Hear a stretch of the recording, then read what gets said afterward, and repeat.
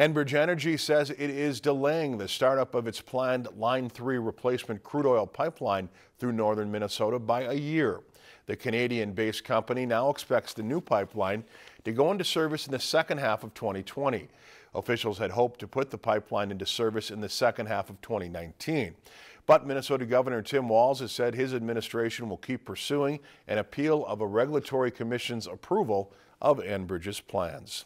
If you enjoyed this segment of Lakeland News, please consider making a tax-deductible contribution to Lakeland PBS.